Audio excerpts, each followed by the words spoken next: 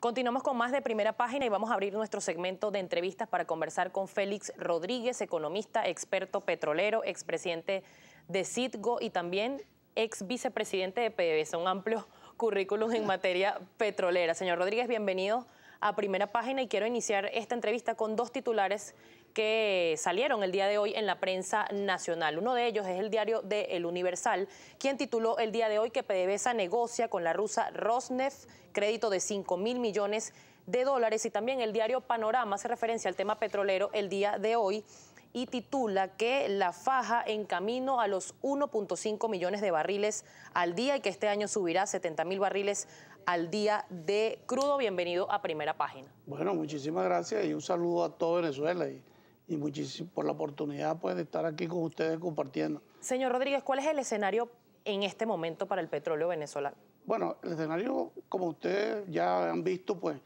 el derrumbe de los precios petroleros pues, desde octubre del año pasado, lo cual ha sido una calamidad, no solamente para Venezuela, ¿no?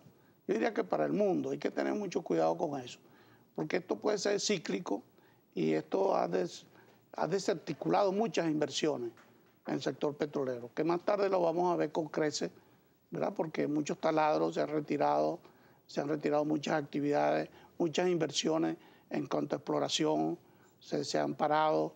Eh, eso va a tener sus repercusiones más tarde. ¿Cuáles son las causas de esta caída abrupta de los precios del petróleo que, por supuesto, ha afectado a nuestra economía? Yo diría que esto es una combinación de factores.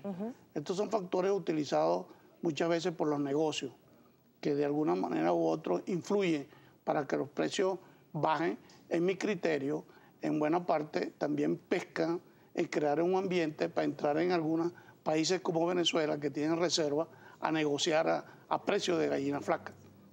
Eso, eso, es una, es una parte del negocio. Y la otra parte es pues, que hay gente que quiere aprovecharse y estar único en el mercado, pues hay una guerra en el mercado, cosa que ha, venido desestabilizándose en la OPEP. La OPEP se había, eh, la, la, penetraron, la dividieron, y ese es un trabajo que ya ha venido haciendo Estados Unidos desde hace mucho tiempo. Es una estrategia política que Es una estrategia política también desde el punto de vista de acuérdense de lo que está pasando en Irán, ¿verdad? de lo que pasa en, el Medio Oriente, en la invasión que hubo en Irak, ¿no? Pues por, por petróleo, por energía, e inclusive por el, también detener el desarrollo de otro tipo de energía, entre ellos la nuclear, como estaba eh, Irán haciendo, ¿no? Con los rusos, ¿no? Entonces esto va a impactar esa economía y por supuesto Estados Unidos, que es un comprador, va a comprar más barato, ¿verdad? Y, esa es una situación ya de negocio. Pero esto, esto lo define Wall Street. Esto no es una cosa ¿eh? de, tan sencilla como mucha gente piensa. Aquí muchas veces nosotros apuntamos hacia una transnacional en particular y todas ellas se unen en una parte común, que es Wall Street. Es la parte donde realmente ellas son accionistas. ¿no? Los accionistas de Chevron posiblemente son los mismos accionistas de Exxon. Los accionistas de Shell son los mismos accionistas de algunas compañías chinas que también están metidas aquí en el negocio.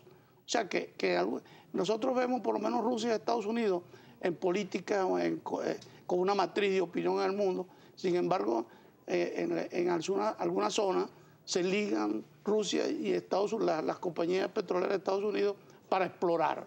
O sea que el mundo petrolero es un mundo articulado desde Wall Street.